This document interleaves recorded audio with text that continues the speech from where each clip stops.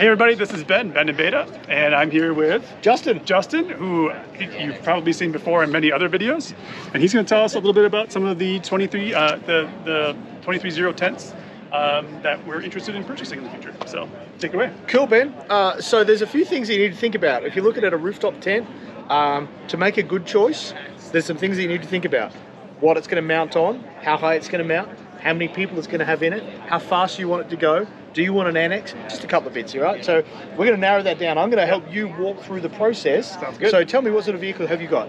Currently, I have a Hyundai Tucson, so that's not going to work Okay. very well. Okay. But we are looking at a truck, a pickup truck, in like the next year. So that's what we're Short bed or long bed? Uh, it's going to be a Tacoma, probably short bed. Yep. Like Trail Hunter, something now like we're that. talking. That's Now we're talking. Yeah, now we're looking. like that, yeah. So as you go down that path, all right, we've narrowed down if it's a short bed.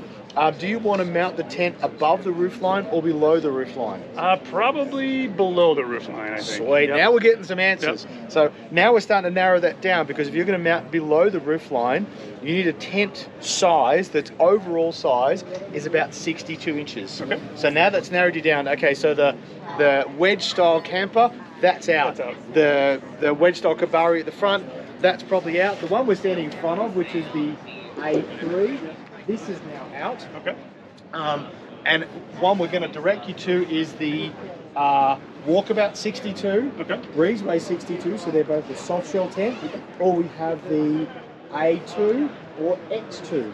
So all of those tents fit into those parameters, so you can mount it below the roof line and still have a good functioning tent. Because again, if otherwise you're going to have the thing hanging out, look stupid. Yep. It really is not safe. Yep. So 62 inches are your overall measurements. All right. So now we've narrowed that down. So we're at 62 inch Yep. is the biggest. Biggest bang for buck is Walkabout 62. Okay.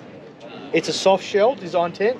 Um, price wise is good. Setup time is fantastic.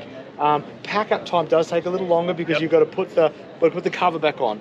Uh, once you've flipped into a hard shell like these guys, pack up and set up is just a breeze. Probably looking for hard shell. I think Yeah, we're going that way for sure. We're seeing the market really swing that way, and, and it's really it's it's a um, the difference in the price versus the difference in convenience, and that's really what we're talking about.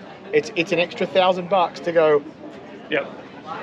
but after a year of doing that, you go, you know what? Saved a lot of time. It's money well Or if spent. it's going to rain, just out of the like just get it up, super right? quick, super Exactly. quick. So let's go and have a look at the. We're going to go over to the Subaru. All right, so it's not. Right.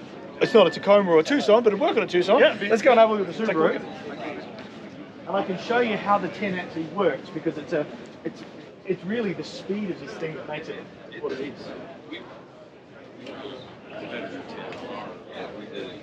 So we've already kind of cheated a little bit on this one, Ben. Yep. Um, the guy, the spring rods are already out. All right. So normally I would have that out as the window up. Um, this runs a lever lock. Okay. All right. So we're going to pop that lever lock. We're going to pop the one on the other side. I have got one set of spring rods in, so I need to get those out of the way.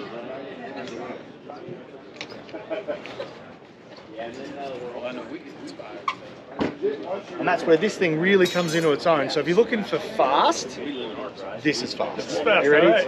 like I've got to do it slow. So you go bang, bang, and that brings that down so it's ready to pack up. Grab the ladder, and everything is going to do its own thing for me. I don't really have to do much at all. It's that fast. And there's this little elastic strap. Okay. I'm going to pop that up through there. Up there like that, and that helps the pieces pull in. Grab the top.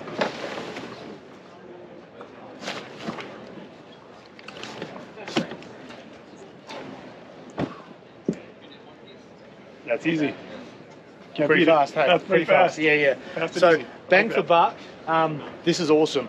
So there's a few things that make our tent different. So sounds like you're uh, going to be looking at lots of tents today and doing lots of videos. Sure will be. So let's give you some stuff that makes ours really different.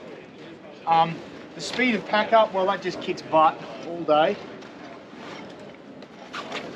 What does make it very different though, and you're going to have to climb in it, my challenge to you, Ben, All right. is to show someone how no light works really well Oh, okay. on a camera. Can definitely do that. Yeah. Alright. Yeah, it's a good trick.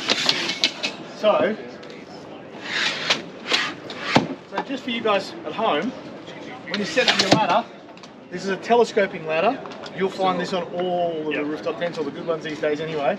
Hold the top of the, the, the, the bracket, the ladder.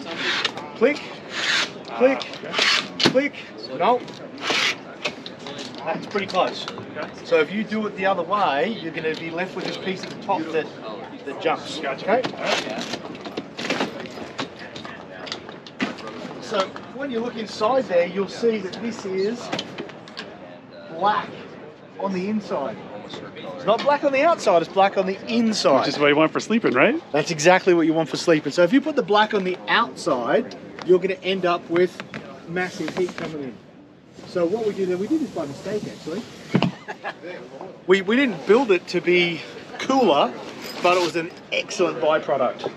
It's very dark in here with just even this. one. Exactly. So if you're in a campsite, then you've got you've got the neighbours got their, their lights on and their party lights, or you're in a campsite and some guru comes through in a thousand watt fly burners on the roof of his truck and it goes past your tent, your tent lights up. You don't have You're that not. with this. You're not going to have it. You're sleeping sound. Exactly. You're not even going to know. I thought heavily about this. Yeah, and the, the mattress is super comfortable. Like I was very impressed with that. Thank you. Yeah. Well done. So the part that I do have to plug, all right, Eco 13B. So this is an ecologically sound fabric. This is actually made from recycled PET bottles. So what we did is we found a fabric that gave us an, an eco message. It's a recycled fabric. It also improved abrasive resistance, waterproof resistance, adhesion to the LST fabric.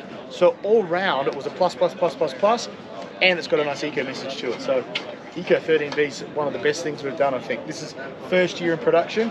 Already yesterday, these things got hammered all day. Yep. No water inside. Yeah. How long you been in this world? Uh, so we started in the States with 20 2016.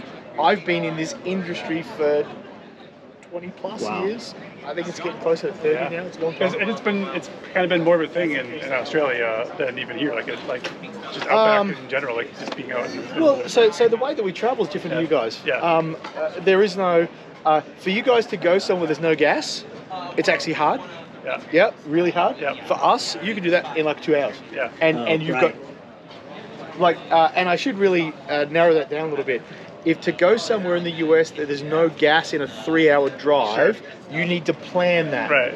In. Australia, you could do that and go, oh crap, I have no gas. and it happens really, really fast. So um, for us, overland travel, really, if you compare our two countries, we're the same size as you, Yeah. but all of our population fits in LA. Yeah.